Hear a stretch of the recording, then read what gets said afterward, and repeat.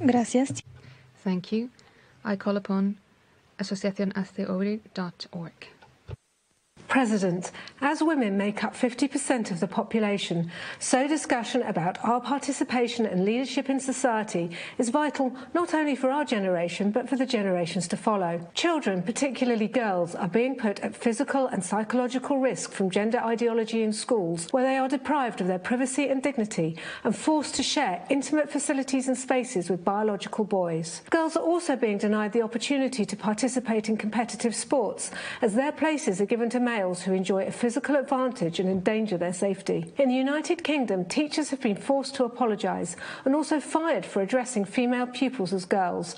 Mothers have been reported to social services for objecting to their children being socially transitioned, and pupils have been punished for questioning gender theory. We cannot build the society of the future. We cannot discuss social security or access to work if gender ideology is driving policy in schools, as this ideology drives women out of public life. It will be impossible to protect women and girls if governments and public institutions impose ideology over biology.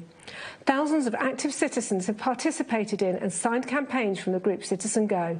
We're urging governments, the international community and other stakeholders to protect children in schools, to allow them to express their views, free them from gender ideology and enable parents to take decisions on their children's future, to stop ideology from trumping female biology.